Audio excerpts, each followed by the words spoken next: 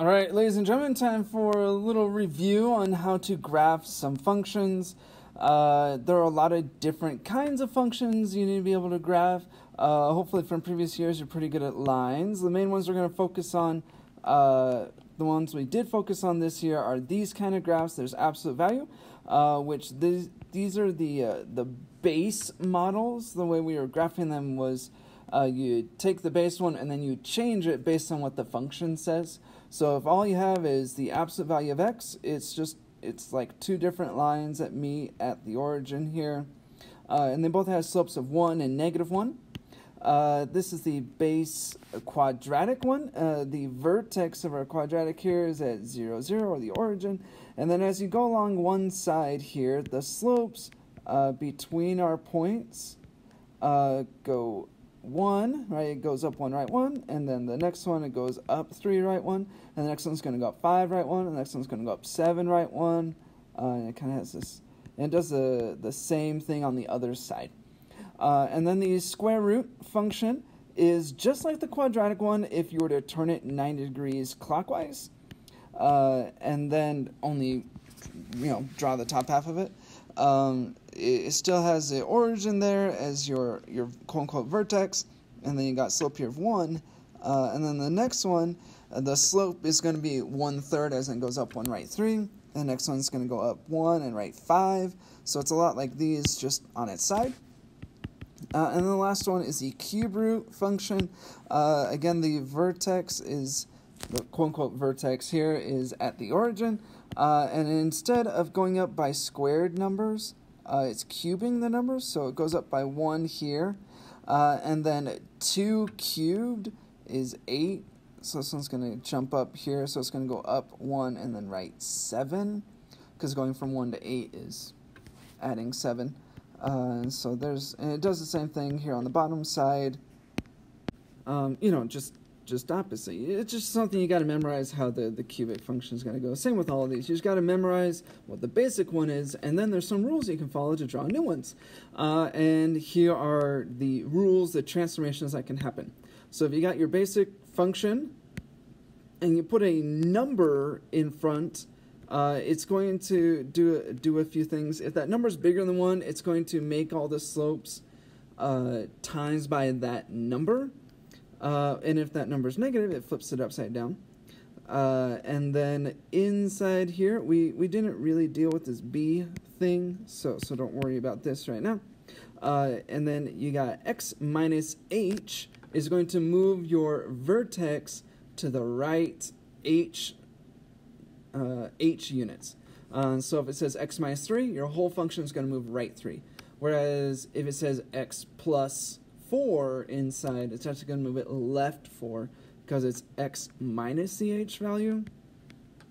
And then if you have some change outside your, your function, it's going to change it vertically that many units. So if it says plus 7, everything moves up 7. If it says subtract 3, it goes down 3. And that's the same rules for all those functions we were just looking at.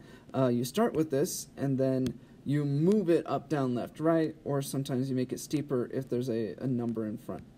Uh, and so let's do a few examples here. Uh, number one, uh, you do need to remember your, your base function. This is not the one we're going to graph, um, but this is kind of the base one. It goes like this, and on the other side it just circles around. So that's the basic one. Uh, well, in our function here, we got x minus 2 in our parentheses, so it's going to move it the vertex right 2.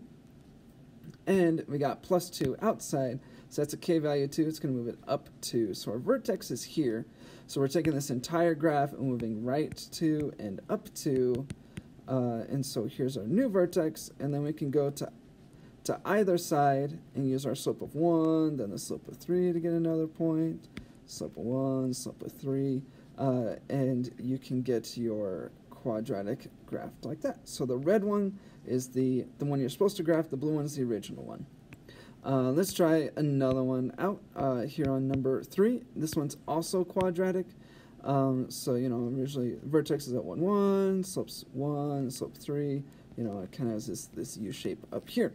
But uh, the reason it doesn't have the upper part is because it's got a negative 2 out front.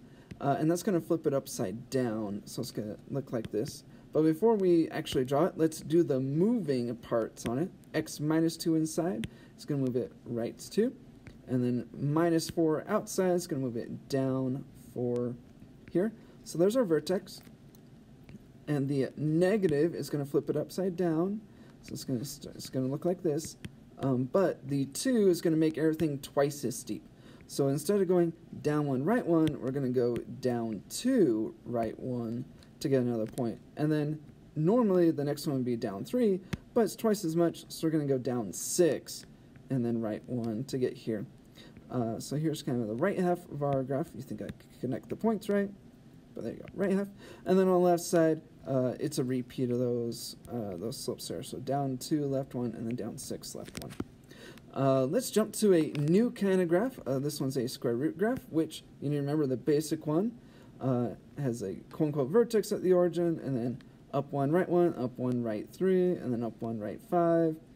Um, it kind of has this shape. So that's the original one, but we want to draw the new one. It's got plus one inside, which is going to move our, our vertex left one, right here.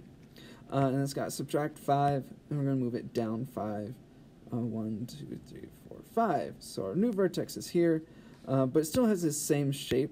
Uh, so we're going to go up one, right one, up one, right three, and then up one, right five. Uh, and now we got our, our lovely square root graph down here. So the red one's the blue's the original, red's the, the new one, the one you're supposed to graph. Um, this one here is a cube root. So remember here uh, on the original one, uh, your cube root's center there at the origin, and it goes up one, right one, and up one, right seven. Uh, because you know it's got these these cubic numbers. Uh, so this is the original one. That's not looking great. Kind switch back there. Right. So that's kind of what the original one looks like. Kind of. It's not that great. Um, but we do have a plus 5 inside, which is going to move it left 5 over here. And then it's got plus 2 in outside. It's going to move up 2. So here's our new, our new center of our cube root function. So we're going to up 1, right 1, and then up 1 and right 4. Sorry, up 1, right 7. My bad. I don't know what I'm talking about there. And then down 1, left 1, and we kind of fall off the graph. So we're looking at this sort of graph. So you're just take your center left 5 up 2, and you got your new one. Uh, on 11, this is absolute value, which uh, the original absolute value, you got your your minimum there at the origin, and then slopes of 1 on either side. Those are bad. Oh, that one's good. So I could do a lot better on my simple 1 there. Uh, so that's the original one. Um, inside here, it's got plus 2, so we're going to go left 2. Oh, let me do different color. Uh, left 2. And then the plus 3 outside there is going to move us up 3. Um, but we're not going to just draw our two lines because it's got the negative 3 out front. And the negative flips it upside down, so it's going to be going like this. Uh, and the 3 is going to make it 3 times as steep.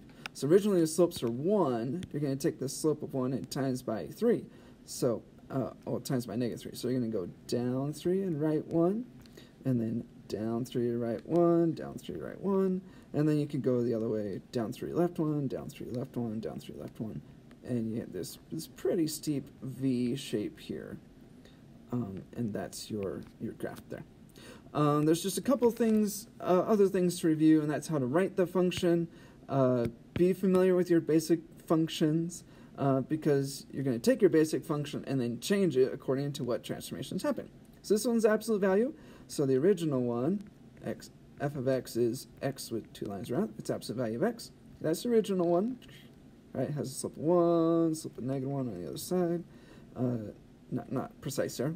Um, but this one, our vertex has moved to the right 4, so that's going to make it x minus 4 inside our absolute value. Uh, and it didn't go up and down at all. That's fine. Uh, but it did flip over the x-axis, which means we got to put a negative in front of this and that's it. That's our that's our function. It didn't go up or down. Uh, it flipped over, so that's the negative part, and then the, the subtract 4 there moves it right 4. So voila, we got our function. Um, 16, this is quadratic. So the basic form of a quadratic is f of x equals x squared. Uh, normally the vertex here is at 0, 0, and now it's at 1, 6. Uh, to go right 1, you got to do x minus 1 in parentheses squared. And then to go up 6, you got to do plus 6. Uh, and then you got to look at your slopes here. Normally the slopes are, right, slopes goes up 1, then up 3, and then up uh, 5, sorry, up 1, up 3, up 5, uh, and then it'd be up 7. Um, but this one, it's upside down, so we're going to have to put a negative in front.